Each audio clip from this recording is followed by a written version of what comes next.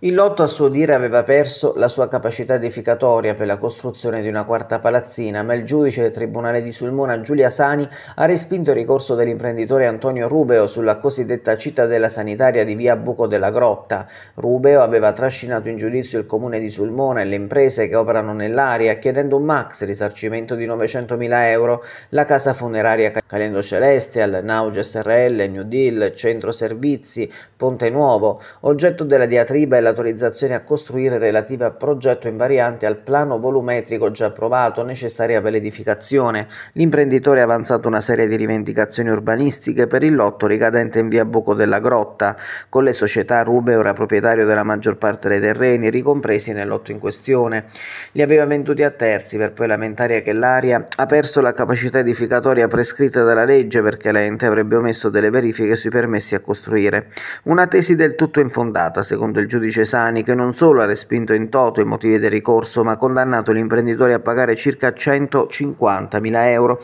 delle spese di lite in favore dell'imprenditore che ha citato in giudizio. Le indagini svolte e le conclusioni raggiunte dalla consulenza tecnica d'ufficio consentono di affermare che la denunciata sottrazione di capacità edificatoria non si è mai realizzata in quanto FIR, la società di Rubeo, non disponeva della superficie fondiaria utile prevista dalla normativa urbanistica, si legge in un passaggio della sentenza della Sani, ricorso respinto e niente risarcimento.